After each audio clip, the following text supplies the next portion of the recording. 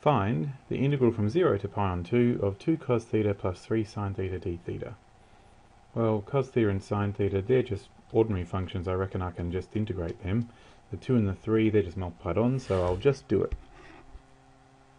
0 to pi on 2 of 2 cos theta plus 3 sine theta d theta is 2 is just multiplied on, so it'll stay there. Cos. The derivative of cos is minus sine, so the integral of cos will be plus sine. 3 will just stay there. Sine theta. The derivative of sine is plus cos, so the integral of sine is minus cos.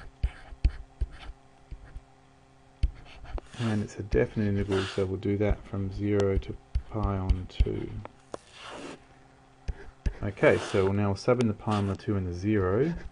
So 2 sine pi on 2 minus 3 cos pi on 2 minus 2 sine 0 minus 3 cos 0. Okay, sine pi on 2. Um, I'll just draw myself a picture. That's the unit circle.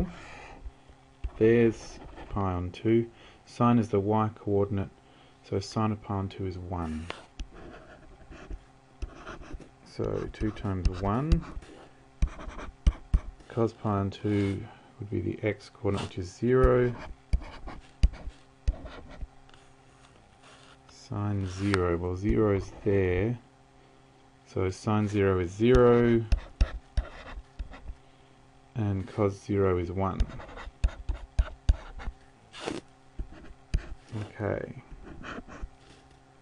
So we've got 2 times 1 is 2, minus 3 times 0, so that's 2.